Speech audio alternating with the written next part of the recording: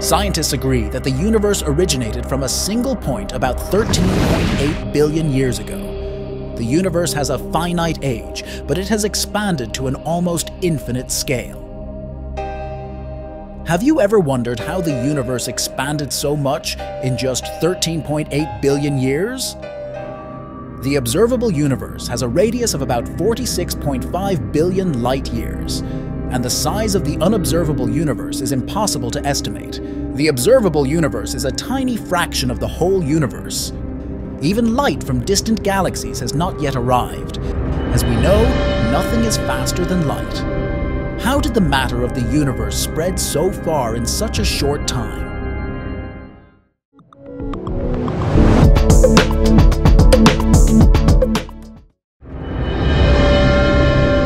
Universe started 13.8 billion years ago from a single point called singularity. Singularity is the point of infinite density and temperature where the known laws of physics break down. The universe began with the explosive expansion of the singularity called the Big Bang. Over time, the universe cooled down, subatomic particles merged and formed atoms, Gravitational forces then acted to bring matter together, resulting in the formation of stars and galaxies. The Big Bang was not an explosion that scattered the matter. It initiated the expansion of the universe, including the space itself. The Big Bang caused inflation of the space fabric at an exponential rate called cosmic inflation. At exponential speed, the distance between two points increased without physical movement. The cosmic inflation was much faster than the speed of light. It does not violate the theory of relativity, which states that nothing can travel through space faster than light. However, the space itself is not constrained by this limitation. The universe experienced exponential expansion in its early phases.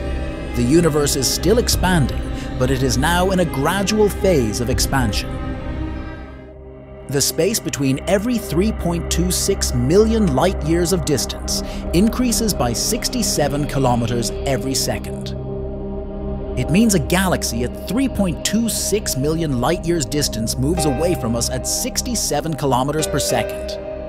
A galaxy at 6.52 million light years distance will recede at double speed.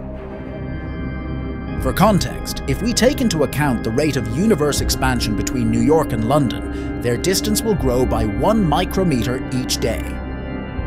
The universe's expansion is evident at extremely large scales, such as the distances between galaxy clusters. On small scales, local gravitational interactions cancel out space expansion effects between planets and galaxies.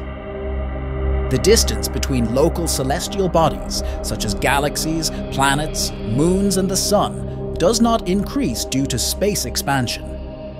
On a small scale, gravity has a dominant role that leads the relative movement of galaxies and solar systems. Therefore, the Milky Way and Andromeda galaxies are on a collision course despite the expansion of space.